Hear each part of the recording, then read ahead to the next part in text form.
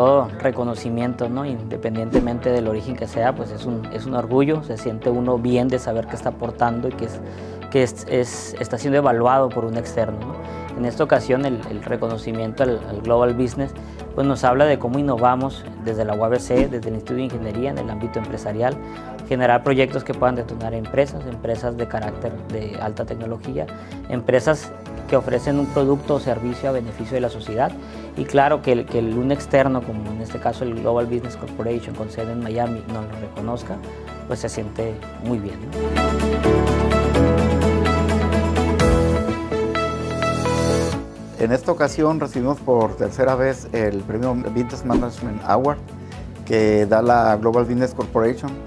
En esta ocasión eh, corresponde al año 2022 y se llevó a cabo el evento en la República de Panamá. Eh, nos lo otorgaron por la labor que la universidad ha desarrollado en cuanto a la promoción de, empresas que, fabrican este, insumos para combatir el COVID.